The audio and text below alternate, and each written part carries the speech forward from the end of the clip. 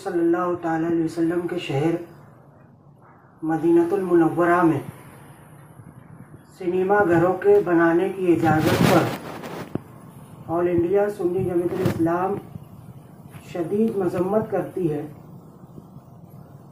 और हुकूमत हिंद से मुतालबा करती है, अपील करती है कि इस सिनेमा घर बनाने में वो अपनी जानब से मुखालफत भेजे, हमारी बात को उन तक पहुँचाए।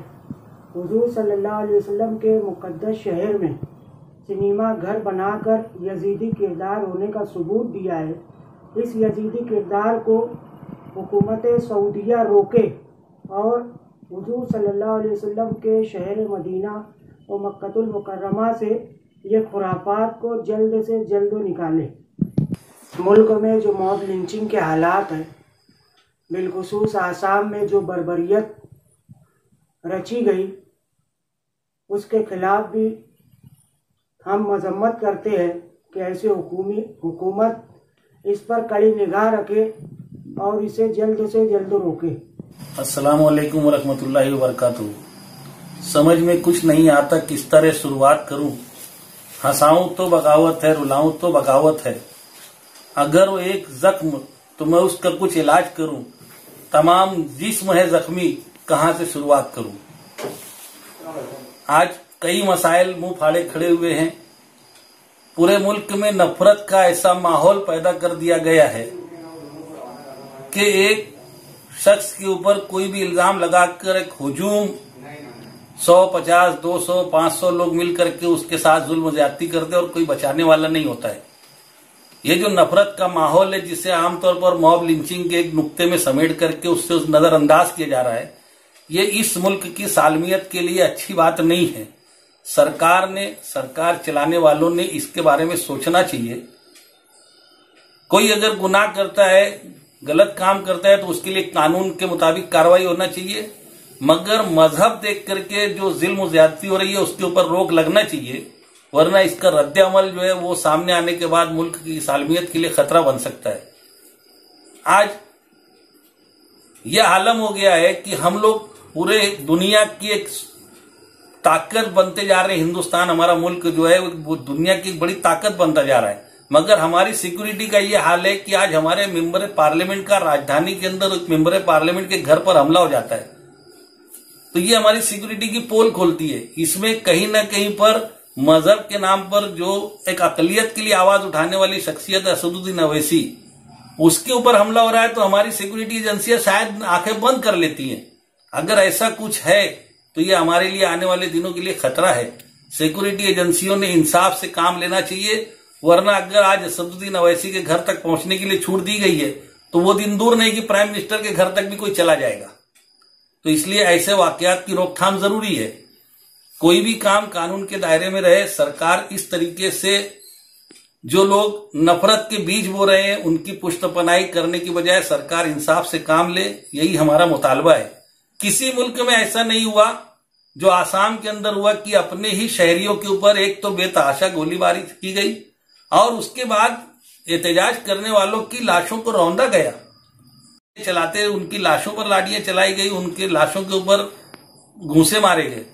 ये सब इंसानियत को शर्मसार कर देने वाली हरकत है। जो सूफी और संतों का कहा जाने वाला देश है, हमारा भारत देश जो है, वो सूफी और संतों का देश है। इस मुल्क के अंदर इंसानियत के इस तरीके से खिलवाड़ ये अच्छी बात नहीं है। हम सरकार को इंतबा देते हैं कि सरकार नोश्ता दीवार को पढ़ ले, समझ ले कि आने वाले हालात जो है वो इस मुल्क के लिए खतरनाक हो सकते हैं। इसलिए इस तरह की नफरत की सियासत करने वालों को, नफरत का बीज बोझने वालों को वक्त से पहले उनके खिलाफ कार्रवाई होना चाहिए। हमारा सुन्नी ताजिया कमेटी की जानब से, सुन्नी जमीतुल इस्लाम की जानब से राष्ट्रीय मुस्लिम मोर्चा की जानब से ऑल इंडिया ओलमा बोर्ड और हमारे तमाम साथी तंजीमों की जानब से ये एक अहम मुतालबा है जो हम आज आप लोगों के ज़रिए से सरकार से कर रहे हैं। दूसरी तरफ़, हम आम मुसलमानों से भी अपील कर रहे हैं कि हम लोगों के साथ जो कुछ होता है, इसमें कुछ हमारे अपने किरदार का भी अमल दखल है। हम लोग इस्लाम सलामती का मज़हब, मुसलमान सलामती वाले लोग, मगर हमने क्या किया है? आज हम लोग खामोश हैं। कुछ मखसूस लोग आवाज़ उठा रहे हैं। जबकि पूरी दुनिया में एक तहलका मच जाना चाहिए था, वो हिजाज मुकद्दस की सरजमीन, जिसको अल्लाह ने हिजाज मुकद्दस बोला, उसको कुछ लोगों ने अपनी मिल्कियत बना लिया, ममलकत सऊदिया कर लिया। यहाँ तक तो ठीक था, मगर जहाँ से अच्छाई का पैगाम दिया गया, जहाँ से बुराई के खात्मे का ऐलान किया गया। कुरान शरीफ में अल्लाह ताला ने फरमाया, कुल्लो मताउ दुनिया कलील। यानी तमाम कायनात की दौलत एक थोड़ी सी चीज़ है। मगर उसी कुरान में अल्लाह ताला ने हुजूर को मुखातिब कर फरमाया वह हुआ खुलकुन अजीम। अय महबूब तुम्हारा इखलाक अजीम तर है। यानी ये कि इंसानियत की मिराज इखलाक में है अच्छाई में है। और उस सरजमीन पर उस न, जो अच्छाई का पैगाम देने वाले नबी उनकी सरजमीन पर सिनेमा हॉल खोले जा रहे हैं। उनकी सरजमीन के ऊपर बुराइयों के अड्डों को इजाज़त दी जा रही है।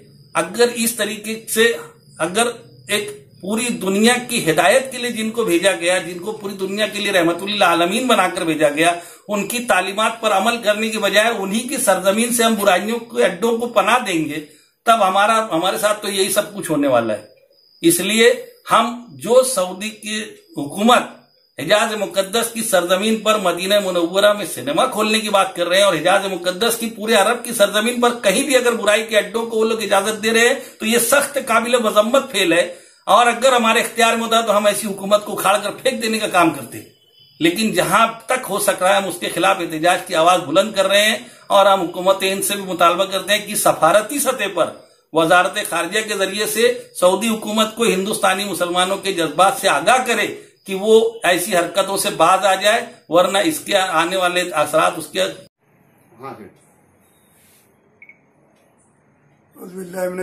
रजीम। बिस्मिल्लाहिर्रहमानिर्रहीम आज मदीने मुनवरा में जो शराब खाने सिनेमा घर और जुए के अड्डे का जो परमिशन सऊदी गवर्नमेंट ने दिया हम लोग उसकी सख्त मजम्मत करते हैं। और मौलाना। अब्दुल कलीम सिद्दीकी इनकी जो गिरफ्तारी हुई है उसके ऊपर ये बेजा गिरफ्तारी है इसलिए उनको जल्द से जल्द रिहा किया जाए। और आसाम में जो हैवानियत पुलिस और मीडिया ने की मरने के बाद भी उस आदमी को लातों से मारा जा रहा है तो ये बंद होना चाहिए ऐसा हम हुकूमत भारत हुकूमत से अपील करते हैं। राष्ट्रीय मुस्लिम मोर्चा कुल जमाती तंजीम ऑल इंडिया सुन्नी जमत इस्लाम। अगर ये बात नहीं मानी जाती है तो फिर धरना आंदोलन की तरफ़ राष्ट्रीय मुस्लिम मोर्चा जाएगा और बड़े से बड़ा धरना और आंदोलन करेगा। मक्का मदीना में शराब और सिनेमा घरों की जो मंजूरी सऊदी गवर्नमेंट में, सऊदी गवर्नमेंट ने दी है, हम उसकी रमजानपुरा विकास कमेटी और मालेगांव शहर के तमाम ऐसी तंजीम जो मुसलमानों से मुंसलिक है, ऐसे लोगों की तरफ़ से हम इसकी मजम्मत करते हैं। और साथ ही साथ मौलाना कदीम सिद्दीकी साहब, जिनके साथ जबरन उन्हें जो जेल में कैद किया गया है, और साथ ही साथ आसाम के मुसलमानों का जो कत्ल आम किया जा रहे हैं, इसे रोका जाए, इसे बंद किया जाए, और मौलाना कलीम सिद्दीकी को रिहा किया जाए। मैं पूरी दुनिया के मुसलमानों से और ख़ास तौर से हिंदुस्तान के मुसलमानों से अपील करता हूँ, हर मसलक हर तंजीम से अपील करता हूँ कि हम लोग पूरी ताकत के साथ इन लोगों के मजम्मत करें।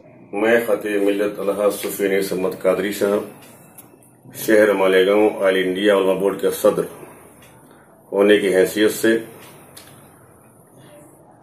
हुकूमत वक्त से अपने भारत हिंदुस्तान के हुकूमत से इल्तमास करते हैं, गुजारिश करते हैं कि सऊदी हुकूमत ने शराब खाने, जुआ खाने और थिएटरों की परमिशन दी है बनाने की, चालू करने की।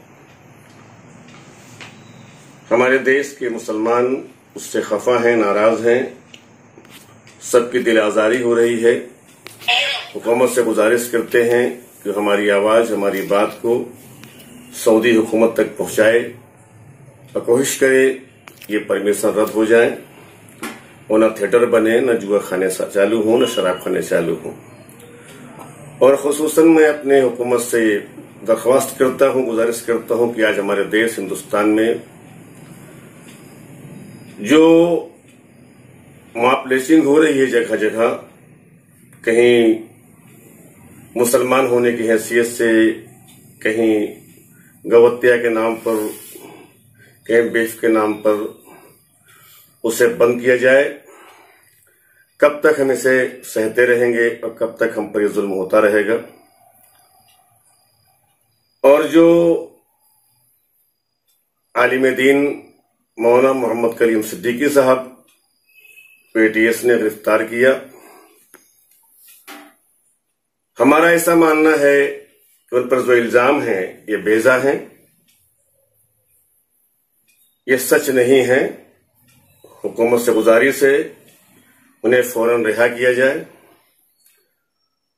और हमारे देश के मुसलमानों के बारे में आवाज़ उठाने वाली शख्सियत बैरिस्टर हुसैन अवैसी साहब, के घर पर जो हमला हुआ, तोड़फोड़ हुआ हम उसकी मजम्मत करते हुए हुकूमत से दरख्वास्त करते हैं कि ये सब नहीं होना चाहिए। और करने वालों के ऊपर कड़ी कार्रवाई की जाए। और आसाम की सरजमीन पर जो पुलिस और मीडिया के लोगों ने मिलकर हमने व्हाट्सएप पे देखा कि एक शख्स को गोली मार दी गई। उसके बाद भी उसके सीने पर चढ़ के मारा गया, लातों से मारा गया, जब तक तो मर नहीं गया। ये हैवानियत बंद की जाए, ये अच्छा काम नहीं है। ऐसा काम तो जानवरों के साथ भी नहीं होता। फिर हम हुकूमत वक्त से गुजारिश करते हैं कि हमारी बातों पर ध्यान दे। ऑल इंडिया उलमा बोर्ड के सदर होने की हैसियत से मैं हुकूमत से अपील करता हूँ कि मेरी बात की सुनाई हो और इस पर कड़ी निगाह रखी जाए, जो पुलिस कर रही है, जो मीडिया कर रही है। वरना आगे अगर हमारी बात की सुनाई न हुई, ऐसा ही होता रहा तो हमें कोई कदम उठाने पर मजबूर होना पड़ेगा। मीडिया के ज़रिए हम हुकूमत तक अपनी बात पहुँचा रहे हैं, और मीडिया से हमारी बात वहाँ तक पहुंचाई जाए। असलामकुम